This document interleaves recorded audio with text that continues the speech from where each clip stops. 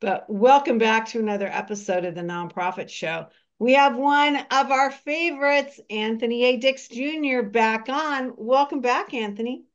Well, thank you so very much for having me today. I'm really excited about our impending conversation. And uh, still, as you said, just a little bit silly for my last conversation, but uh, thank you so very much for having me. And I'm so glad that there's more to this team now. So the more the merrier. Can't wait to engage Sherry in a conversation as well about our topic today. So thank you. Looking forward to it. Yeah, it's really um, an amazing. And Sherry mentioned, you know, she's interviewed your wife and yes. so it's I, the two of you are very different in a lot of ways, which is super cool. You know, one thing that's not different for us is that every day we have these amazing sponsors, and they include Bloomerang, American Nonprofit Academy, Nonprofit Thought Leader, Staffing Boutique, Your Part Time Controller, 180 Management Group, where Anthony joins us from, Fundraising Academy at National University, JMT Consulting, and Nonprofit Tech Talk we have this amazing and super cool co-host panel that we've developed. They come from all over the country. Today I'm joined by Sherry Quam Taylor of Quam Taylor. Miss Sherry, tell us where you come from because I think that's very exciting. Well, I'm I'm dialing in from Chicago today, where we had a cool and rainy uh, holiday weekend, but uh, only, onward and upward from here. I love it. I love it. Well, we are thrilled um, to have you on. You know, I was thinking about this, Sherry. I think you were kind of like one of the very first guests that we had on the nonprofit show. Really? Yeah, when we first started, and I somehow found you, and I think probably through LinkedIn, if I'm not mistaken. Well, I'm on and, there a lot. yeah, and so um, super cool that you know five years later we would still have you. Wow, um, incredible yeah, it's it's a it's a wonderful wonderful thing. Anthony A. Dicks Jr., senior leadership consultant from 180 Management Group. I think we should add in there guru. Uh, wow. In the show um, notes. I don't receive that, but uh, I'm glad this is being recorded. oh my God, that's hilarious. Well, I want to witness to everybody, and I've I've thought about this, and I wasn't going to do it, but um, I am going to do it, and I'm going to witness to everyone that um, we had you on mm-hmm. months and months and months ago, maybe even mm-hmm. last year, I can't remember, and um, I was so inspired with what you said, your cadence. I totally drank the Kool Aid, and I called you up, and I said I need some coaching. And while I do executive coaching, um, uh, and work with in a fixer capacity for for leaders i just felt like you could bring something to my life where i was struggling and mm. specifically that was with my goals how i set them how i managed them and how spoiler alert i never achieved them and then i started working with you and holy crap i started achieving these goals like right at the beginning of the year as wow. opposed to never achieving them. What say you? Am I just a good student? Uh, exceptional. Now that's that goes without saying, and that's no hyperbole there.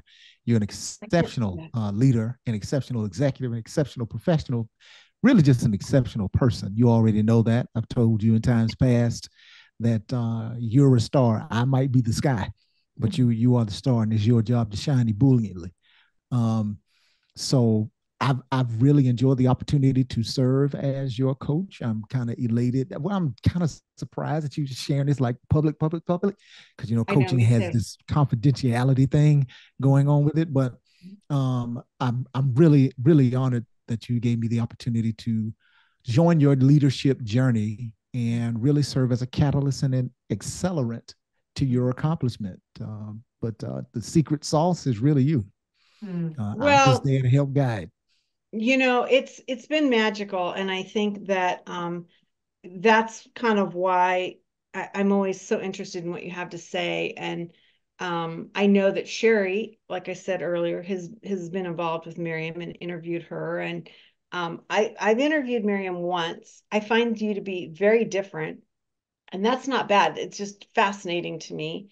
Um, and so um, again, I just am super excited to to be able to share with everybody that watches and listens to us that I have a different perspective when it comes to what you have to say. And um, I guess I pay attention. You're an A plus student. That's good. yep. Oh God, sister, I've never been an A plus student. Oh my goodness. To hear that, that's an amazing thing. Well, Anthony, let's get to it.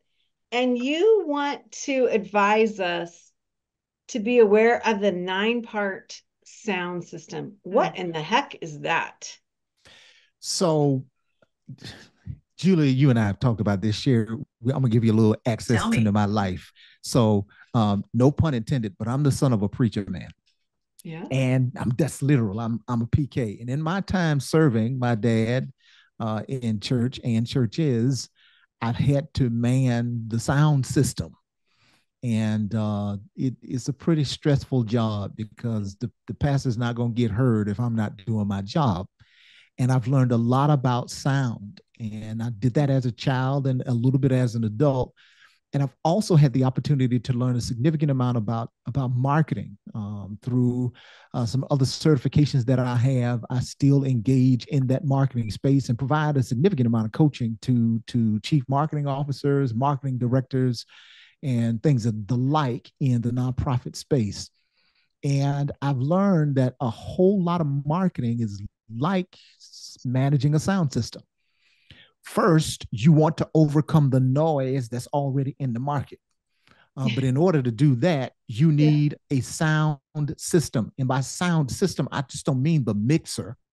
Mm-hmm. I mean a system that is sound and and how you generate your messages, how you uh, release those messages, how you manage those messages really contribute to how it is you amplify that message. And a nine part sound system or nine part marketing system that is sound involves a compelling story framework, a sound board, a sounding board. And I mean that in two senses a sound mixer, but also, you know, how if you're bouncing ideas off of somebody, you want to bounce those, those ideas off of a sounding board. Mm-hmm. You've got amplifiers. Uh, anytime you got sound like this microphone that I have, it has its own amplification system within it. Now, if it was another Shure microphone, it would need some type of cloud producer to amplify it and power it. But this one particularly has its own power and amplifying system. So you need amplifiers. You also need an equalizer especially for those that are in the nonprofit space who may not have the marketing spend that other corporations do. You need something to equalize it, to equalize that market. You also need speakers. You got to give people a call sign. Now, I don't know, Sherry, you may not know this, but I'm, you're in Chicago, so you might know a little bit about this. Cincinnati is somewhere close to me. the Rust Belt, I think. Do you remember um, WKRP in Cincinnati? Do you remember that? Oh, right. Yeah. So that call sign, the WKRP, I, I, I like that to a radio signal. And whenever you're doing marketing, you need a call to action, something that is memorable that moves people to do something. So you, you need a call sign or you got to get people to act. You also need a way to receive feedback when you are speaking externally, and I know Julie, you do an extensive amount of speaking. If you've got that lavalier on and you get a little bit too close to that monitor, it can give you feedback. That feedback tells you a lot about how you sound. So, in your marketing framework or system, you need a way to receive feedback and make those adjustments using your equalizer or maybe spacing out your uh, speakers just a little bit different. You also need a sound system that has a lot of outputs and inputs, and you need some connections. So you can't have uh, a sound without connections. I've got something connecting this microphone so that I've got an input and output device to this computer. And that's the nine parts of a marketing sound system that if you employ it right and you've got some good sound engineers, you can amplify your message. Mm-hmm. Well, I didn't know I was getting a technology lesson as well today, but uh, I also feel like Anthony, um, I love everything you just said, and I'd, I'd be curious to know also just the. I feel like it's then and then do all that consistent consistently, right? It's mm-hmm. where it's not the up and down, or we're just going to do one broadcast uh, to, to to add on to that. But I just feel like consistent consistency has been time and time for me um, what's also been so important, maybe laying on top of everything you just said. Exactly. Consistency alludes to, from a sound perspective, the idea of frequency. Mm. Sound is transmitted through a frequency, uh, hertz. And so we know frequency of not only the wavelengths uh, when yes. it comes to sound, but also about timing. Timing. So frequency and consistency are related with regards to timing. So if you are not consistent, if you don't have the necessary frequency to certain messages, you could be, um, I'll give you an example. Right now, there are tons, if you're in a car, you're on your satellite, there are tons of radio stations going on at the same time. Mm-hmm. The reason why you hear one and not the other is because you're tuned in to a particular frequency. And organizations need to know what frequency their listeners, their audiences are tuned into and try to match that frequency, number one, and then do it consistently enough to create an expectation because now I know when my favorite program comes on that frequency. Yeah. Because it's consistent. Uh, and your social media channels can kind of operate almost like a broadcast network, like this, this the nonprofit show. Mm-hmm. Everybody knows when it's going to broadcast. It's going to broadcast every day. It's going to broadcast on YouTube. YouTube is a huge educational device, an educational platform. So understanding that channel, which is an amplifier, understanding your frequency every day at this time creates the necessary uh, atmosphere and network for people to hear you over the other noise that may mm. be going on in the market. Right. You know, I, I love that because I think it kind of narrows it down. It makes it more achievable. Um, you can't be all things to all people. And the first thing you started us off with was you talked about having a framework for powerful leadership. And so, what does that mean to you? And can we start all this other stuff or do we need to start here? You need to start with the story. Okay. There, there's nothing to transmit if you don't have any content. so mm-hmm. you got to figure out what you're going to say first.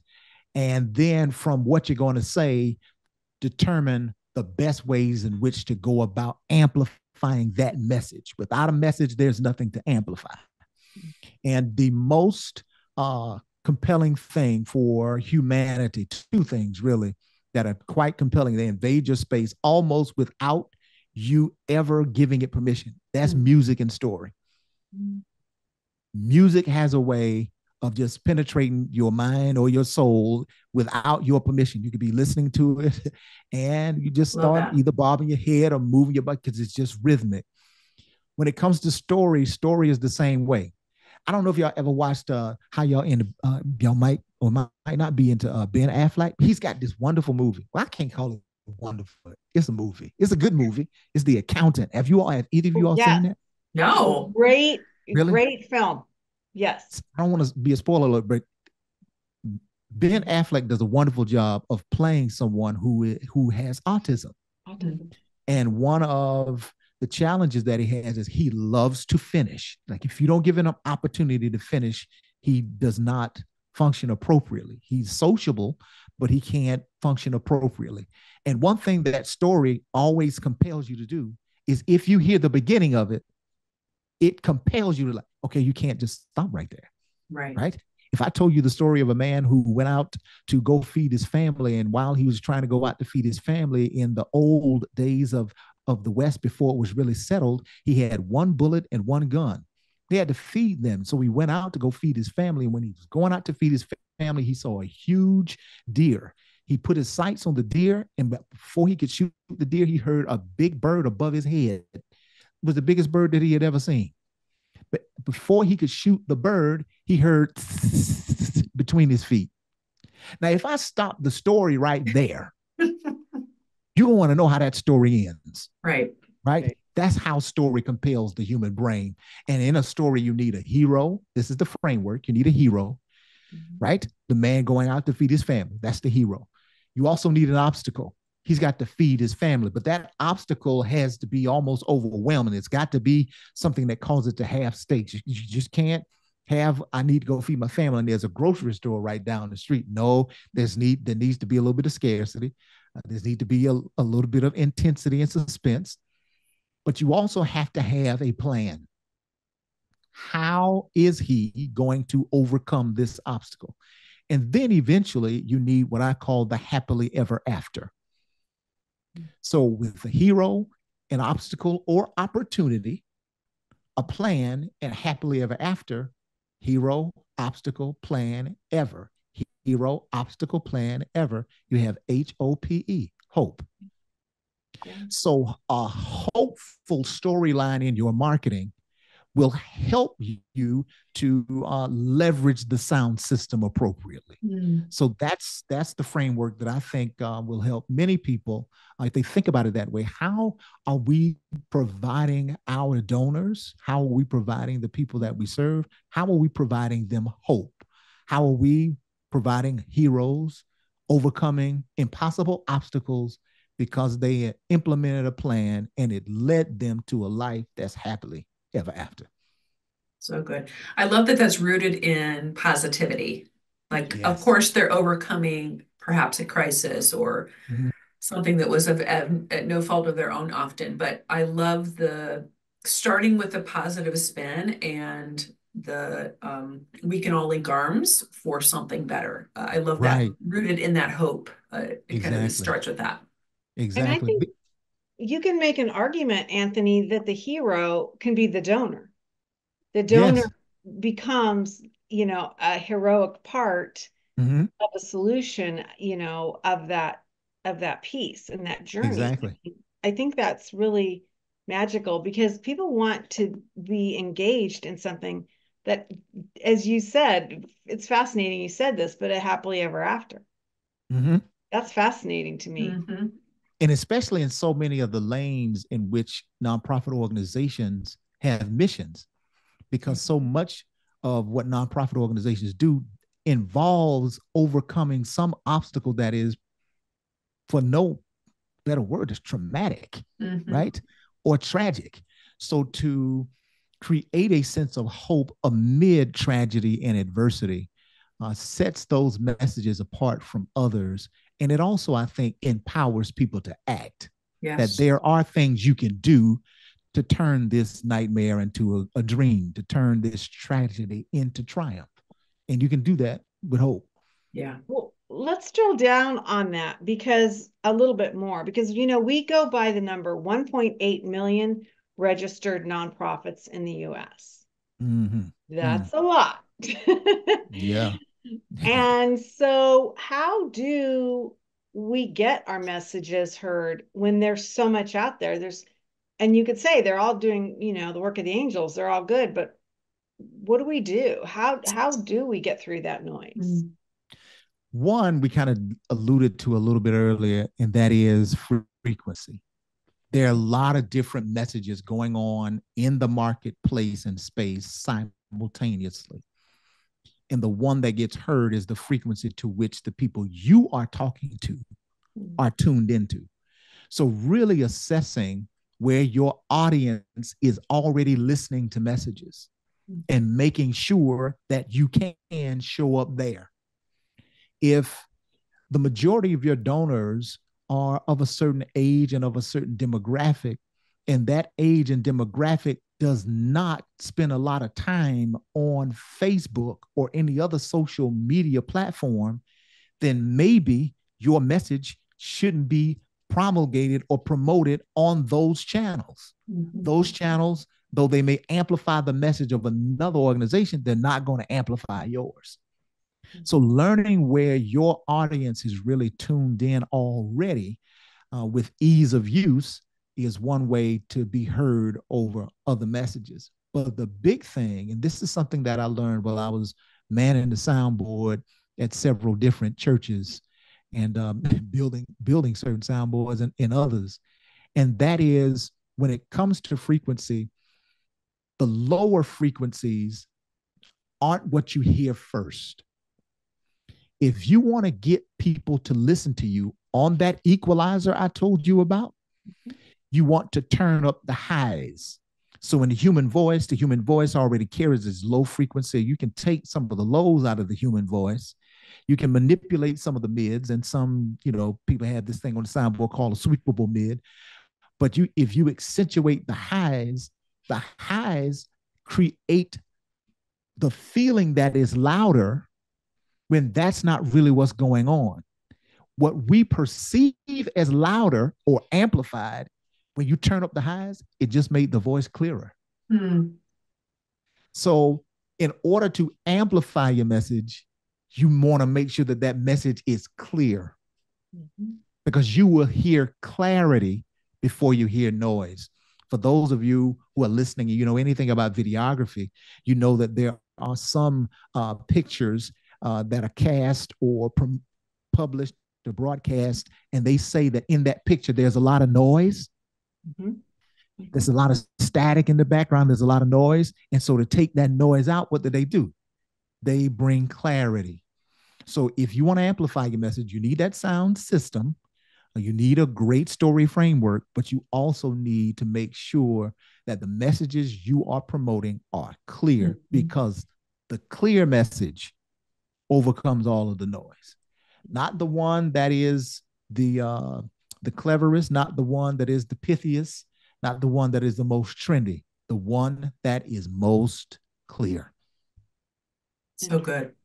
Anthony, a lot of people uh, come to me and say, uh, it's hard. So I, I, I do fundraising. Uh, and they say it's hard for us to raise funds because it's too competitive. There's too many of us, or, mm-hmm. or you know, we're doing something sciencey. We're not feeding starving children, so it's way easier.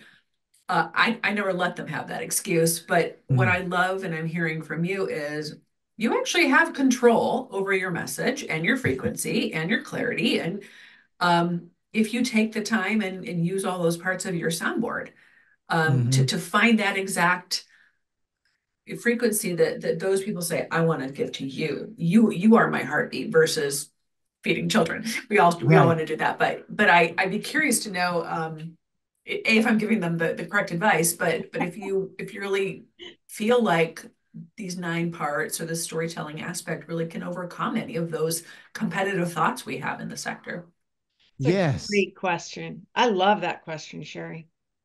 Definitely. Definitely. Um, I give an example.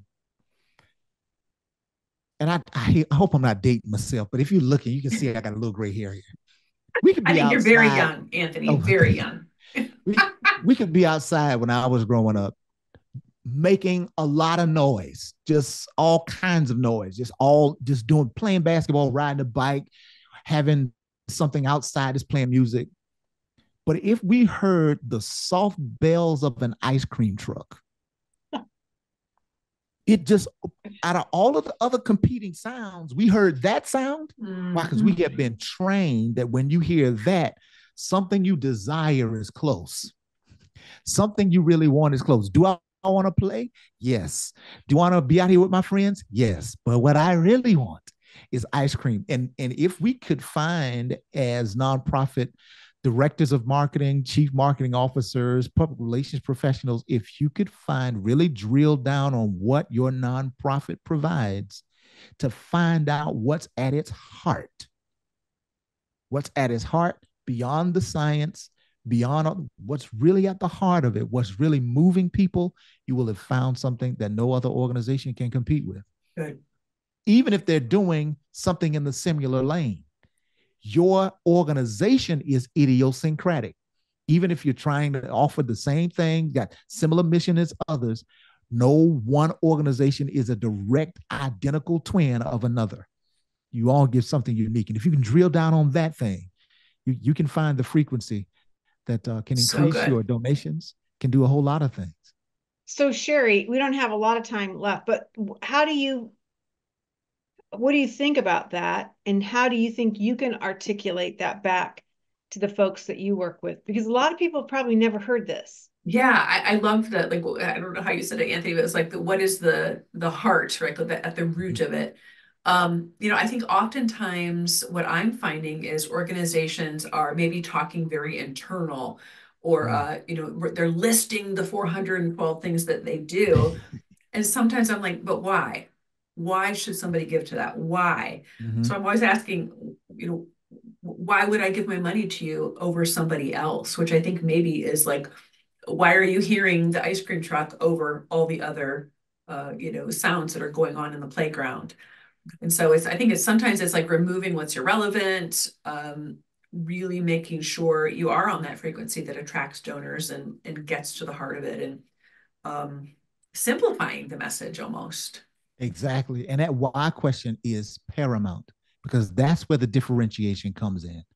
When it comes to marketing messages, the differentiation is not in the what, it's in the why, mm. because that's what really gets closer to moving people. Uh, and if you can help facilitate an organization finding out their why, their raison d'etre, their reason for being, yeah. that will empower them to form and formulate compelling and clear marketing messages that they can leverage on any platform or, or wherever their audience is already listening. Yeah. Mm-hmm. I love that. Well, so everybody see why I called him the guru? We've got a guru with us today. I can tell. I'm just saying. I'm just saying.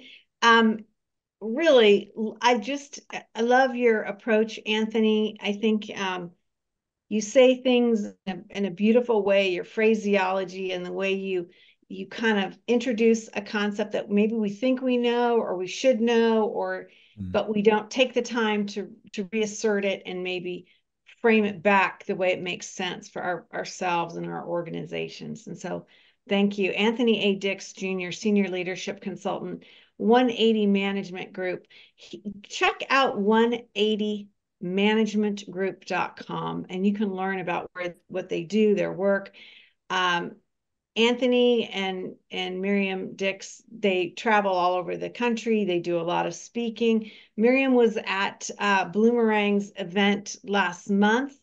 Um, well, actually, no, not last month. It was the very beginning of the month in San Diego. Um, and so, really a cool um, alignment for us on the nonprofit show to have met you both and to learn about your work and your approach. It's really, really. Uh, just so invaluable. And, and I love what you had to say today. I think this is important, Sherry, also because I think this is the time that things can be, this concept can be approached and discussed before we get into the fall and the holiday mm-hmm. season and all that when you can't make changes. You can't yep. pivot because you've secured everything, even if you've just secured it mentally, right? Yeah. I think so, lock yourself in a conference room and listen to this and, and take that time to really ask the, what do they say, the seven whys, get to the root of it before that copy is finalized. Yeah, really, really powerful. Uh, again, we are also empowered by our presenting sponsors, and they include Bloomerang, American Nonprofit Academy, Nonprofit Thought Leader, Staffing Boutique, Your Part-Time Controller, 180 Management Group, Fundraising Academy, JMT Consulting, and Nonprofit Tech Talk. Okay, Sherry, I'm like totally jazzed and excited about reformulating some of even my own ideas. Okay. Yeah. I, I can't wait to hear. Yeah, I think it's really interesting. And, and I think that, um, Anthony, before we let you go, I think sometimes we get fatigued by what we're doing. Mm-hmm. And so we think, oh, we have to change it up versus drilling down and even narrow casting it more. Do you see that as we let you go? And I know it's like that's a big question at the end of the show, but yes, I think sometimes in the rhythm of the market, both on the nonprofit side and for profit side, we are almost seduced into changing things too quickly mm. when we should take a little bit of time and allow it to resonate to watch certain things unfold before we make adjustments. Uh, and finding as, as sherry said finding out that why really gives an organization its secret sauce because that why is is a driver it's a transmission and it really gives you a rooting and a patience so that while other things seem to be fluctuating in the market you can maintain your core values and make adjustments at the appropriate time. One of the best things about music is timing. Mm. When do I hit the snare? When do I give the hi hat a little bit more? When I hit the kick? Uh, when do I play these chords? And uh, I, I would encourage anyone who's listening don't be seduced by the speed of marketing to make adjustments too soon. Give your marketing campaign some time, then go back and reevaluate. Mhm. I love Good it. advice. Super Good good advice. advice. Walk before you run. That's great. exactly. Exactly. Well, everybody, as we end another episode of the Nonprofit Show, I want to give our gratitude to our wonderful, wonderful co-host and our guest, of course, today. But I also want to remind everyone, as we do at the end of every show, and that is to stay well so you can do well. We'll see you back here again next time on the Nonprofit Show. Thank you, Anthony. Thank you guys. Thank you. Awesome, ladies. Anthony. Great to meet you.